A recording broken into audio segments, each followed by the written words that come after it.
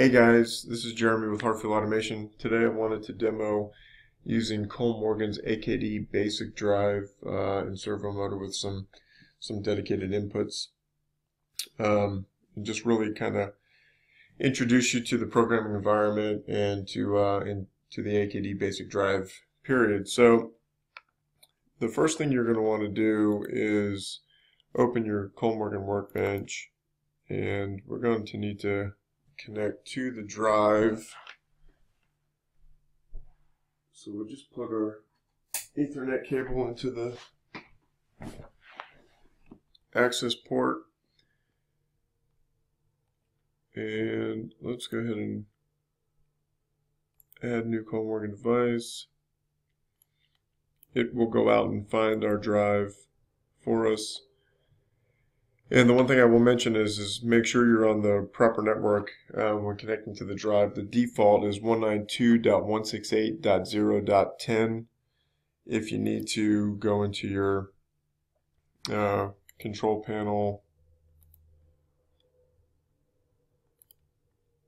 network, um, you're going to go to your LAN network, properties, and then the IPv4 go into properties here and you can configure the IP address to connect.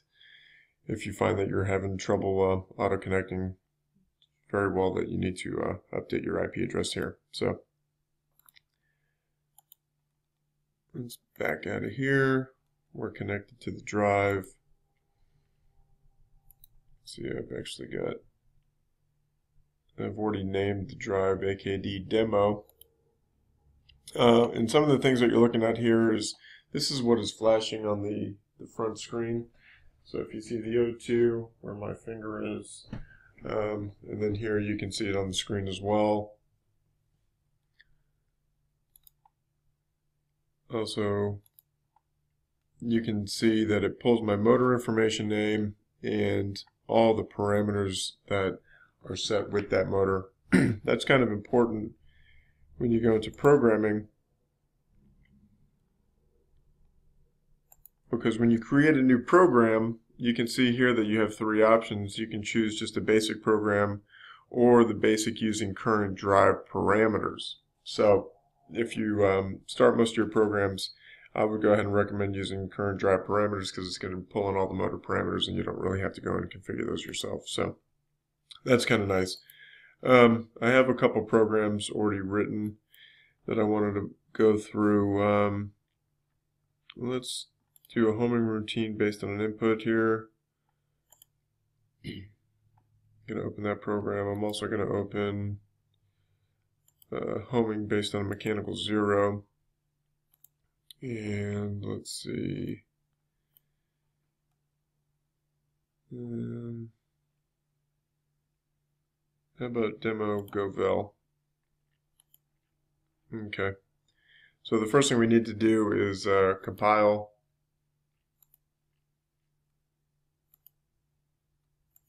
our programs and then uh, download them to our drive.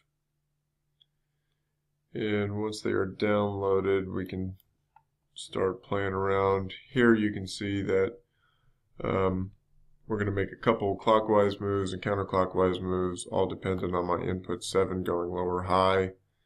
Um, I've got all my motor parameters in here. This is my main program. So let's go ahead and see this thing work.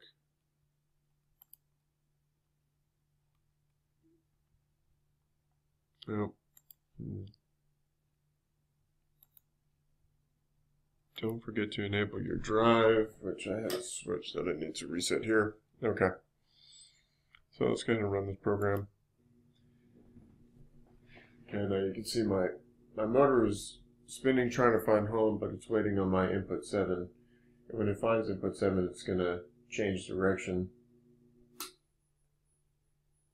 And then it's going to wait for the signal to drop down again and it's going to latch. So that's just a pretty simple homing routine based on an input, but you can also see we have homing based on a mechanical zero position. Um, So it's really just looking for the feedback of the motor.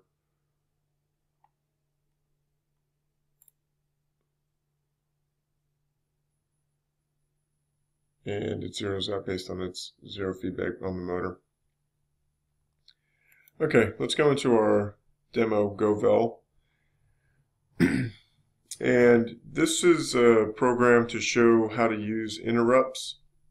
So here you can see I have my first digital input set up to interrupt. Um, that's just going to start the velocity move. My digital input 2 here is going to adjust my run speed. So you can see move.run speed equals move.run speed plus 100. Every time that input goes active, I'm going to add 100 to my velocity. Um, pretty much the opposite here for my digital input 3. Move.run speed equals move.run speed minus 100. Um, and then my digital input 4 is going to change direction. So let's go ahead and see that, that work. So I flip one, I go live.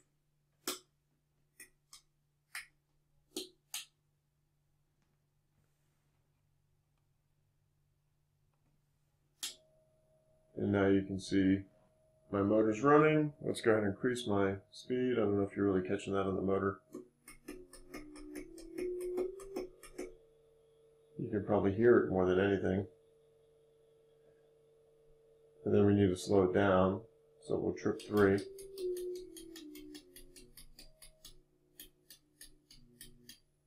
And it slow enough that you can see it. And then now if we want to change direction, we trip four. So, simple way to make show you how interrupts work using digital inputs.